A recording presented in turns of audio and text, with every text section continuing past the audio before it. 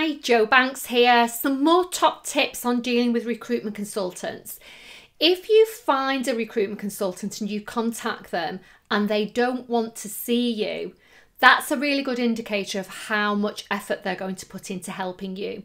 If a recruitment consultant says, just send your CV in, and then you follow it up and they don't want to see you, presuming that you're in travelling distance, or they don't want to Skype interview with you, then I would suggest that they're not likely to help you. So I will probably move on and find another one. There are plenty out there, and I would suggest that you need to register with around five. Five is a good manageable number. And as I've said in other videos, it's really important that you make sure that you build the relationship with them and you contact them once every week or every other week, being really, really upbeat and positive about your job search.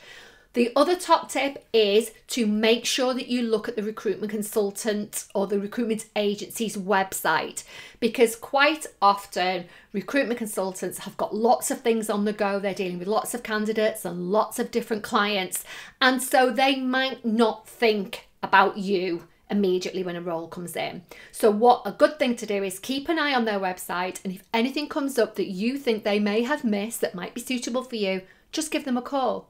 There might be a really valid reason why they haven't called you. It could be that you don't have the right skills or experience and they've already discounted you. But on many occasions, a recruitment consultant's so busy and they've got so much going on that they might just not have given you a thought. So it's always up to you to manage that relationship. So you make sure you contact them.